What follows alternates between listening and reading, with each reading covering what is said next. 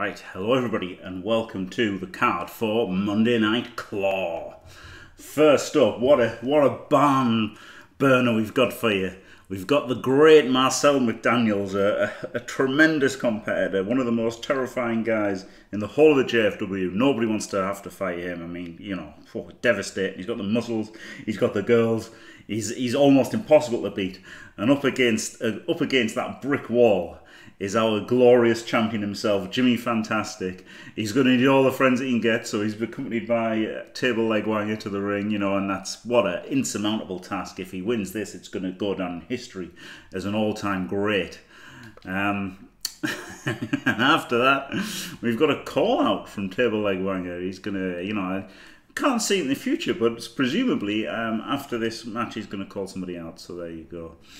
Um, then we've got a great tag team match.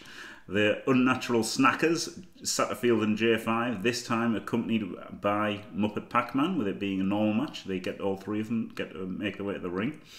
Up against Shoney and Fault Force, Rude Ham.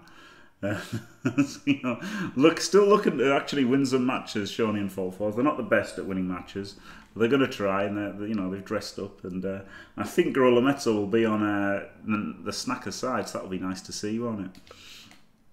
And then we've got the Ball Shot Supremos, Kiwi, Nutsakadak, and Kurgol. They've got a bit of a rivalry going still. Uh, despite pretty much being dominated by Kurgol, this is still happening.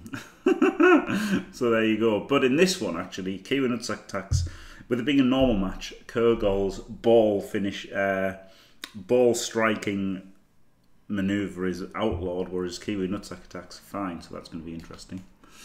Then we've got an Extreme Rules between Frost Lord and the Mighty Zug.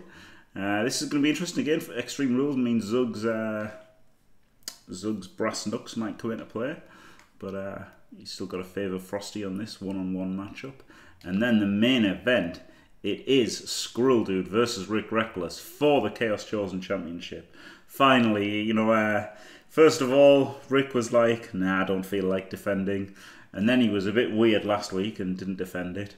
But this time he is going to defend it. So, you know, he's finally going to honour his commitment to Squirrel Dude, his good friend Squirrel Dude. We're going to have the match for the Chaos Chosen Championship.